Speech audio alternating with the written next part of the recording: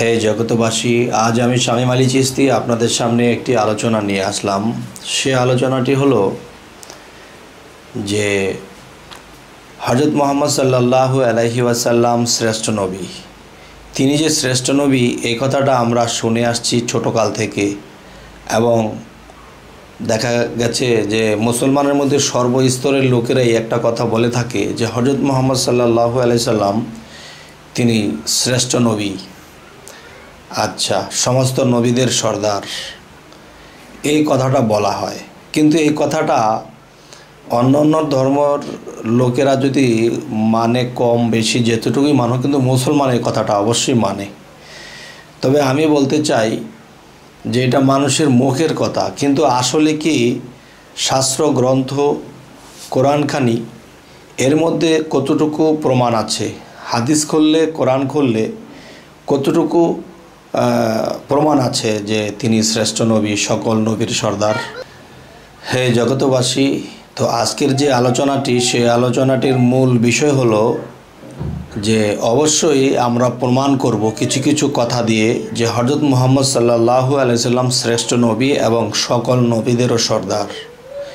সেটি হলো, যেমন কোরআনটা খুললে আমরা পাই কি?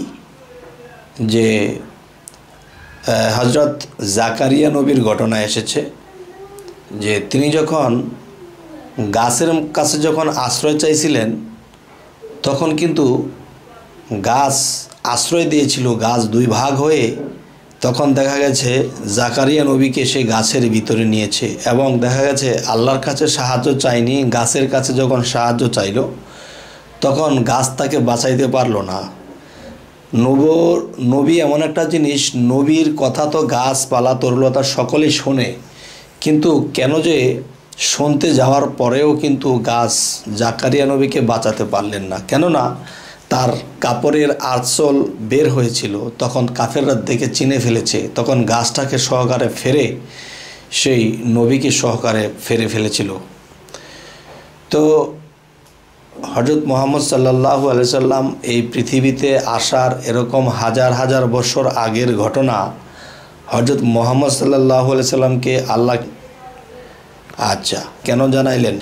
দেখা গেছে পৃথিবীতে অনেক নবীরাও পথভ্রষ্ট হয়েছিল, অনেক পয়গাম্বাররাও পথভ্রষ্ট হয়েছিল।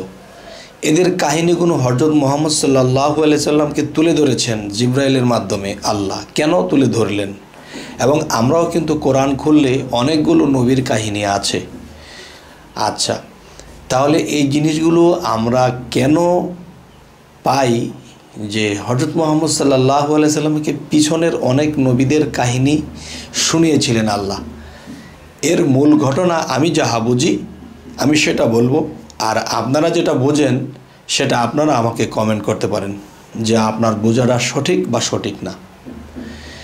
যে হজরত মোহাম্মদ সাল্লাহু আলহি ওয়াসাল্লামকে আল্লাহ যদি সর্বশ্রেষ্ঠ কাতারে রেখে থাকে এবং সকল নবীদের সর্দার হিসাবে তাকে রেখে থাকে, তার প্রমাণ এটাই আমি পাই যে যেমন জাকারিয়া নবী এবং ইউনুস নবী এদেরকে যখন পাঠাইছিল তখন কিন্তু মানুষ হেদায়তের জন্য পাঠাইছিল, তখন তারা কিন্তু আল্লাহ যেই পথে যাইতে বলছে, তারা অন্য পথে ছুটেছে। তখন ইউনুস নবীকে কিন্তু মাছে খেয়ে ফেলেছিল।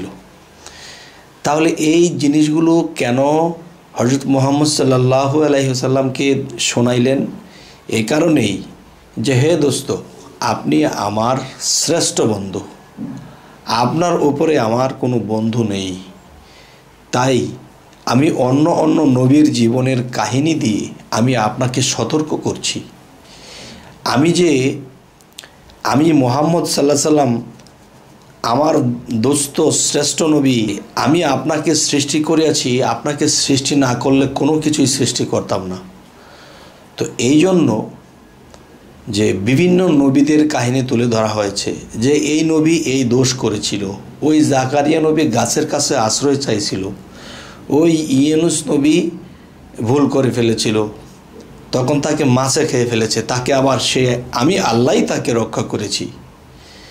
তাহলে তাদের দ্বারা যেই ভুল হয়েছে, হে দোস্ত, হে মোহাম্মদ, আপনার দ্বারা যেন এরকম কোনো ভুল না হয়। যদি এ ধরনের কোনো ভুল আপনার দ্বারা হয়, তাহলে আমি লজ্জিত হব। কেননা আপনাকে আমি শ্রেষ্ঠ বন্ধুর উপাধি দিয়েছি, শ্রেষ্ঠ নবীর উপাধি দিয়েছি। তাহলে সেই শ্রেষ্ঠ নবী, শ্রেষ্ঠ বন্ধুর যদি এরকম কোনো ভুল হয়, তখন আমি ছোট হয়ে যাব। তাই আমি আপনাকে সতর্কবাণী হিসেবে আমি বাকি নবীদের কাহিনী আপনাকে শুনিয়েছি যাতে এরকম ভুল আপনার দ্বারা না হয়।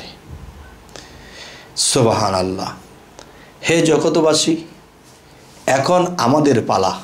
কেননা নবুয়াদ খতম, নবী আর আসবে না। তো এখন বেলায়েতের যুগ অলি আউলিয়ার যুগ। এখন কি করতে হবে? আমরা সেই কোরআনটাকেই লক্ষ্য করব। যেই ভুলগুলো পূর্বপুরুষদেরকে করতে দেখা গেছে, আর সেই জিনিসগুলো কোরআনের মাধ্যমে যেহেতু আল্লাহ আমাদেরকে দিয়ে গেলেন, তখন হজরত মোহাম্মদ সাল্লাহ সাল্লামের দ্বারা এরকম কোনো ভুল হয়নি।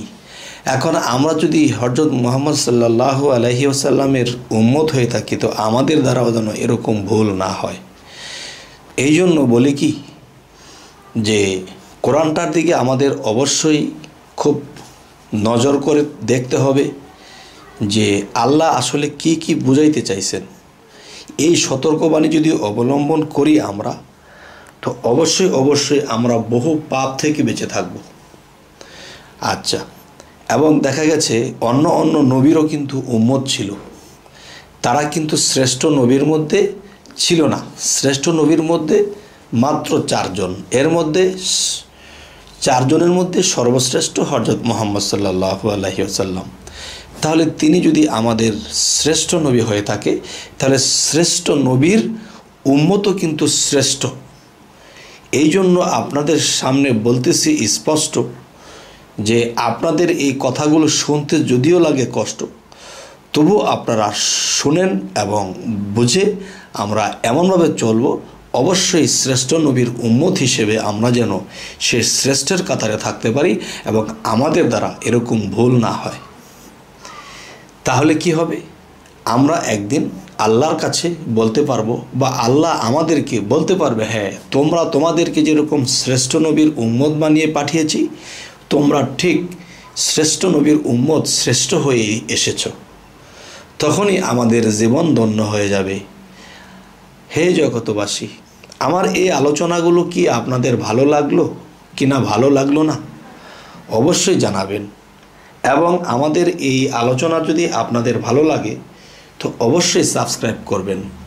এবং পরবর্তীতে আমাদের ভালো ভালো ভিডিওগুলো যেন আপনাদের সামনে উপস্থিত হয়। তো আজ এই বলেই রাখব। সকলেই ভালো থাকবেন। আল্লাহ হাফিজ।